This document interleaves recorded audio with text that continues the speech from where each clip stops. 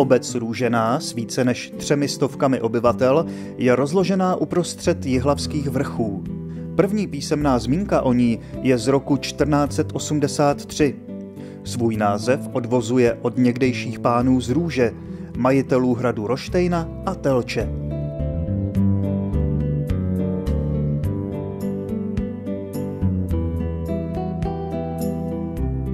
Historii Růžené připomíná malebný farní kostel se šindelovou střechou z 15. století, zasvěcený svaté Maří Magdaléně.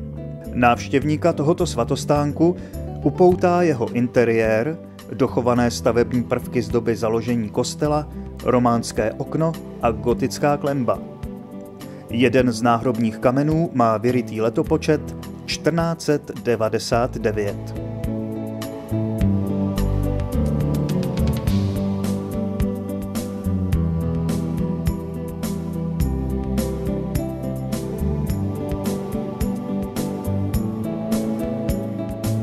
Neopomenutelný je starý Trojanův kamenný kříž u lesa za obcí. Kolem něj vedla dříve poutní cesta. V Růžené měli školu již na počátku 19. století. Všestraně aktivní jsou dobrovolní hasiči.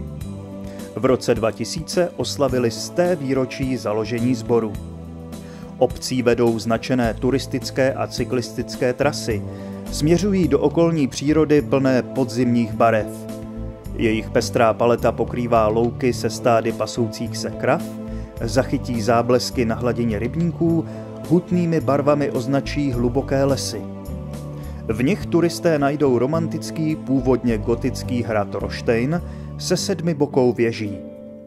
V historii hrad sdílel společné osudy i s vesnicí Růženou.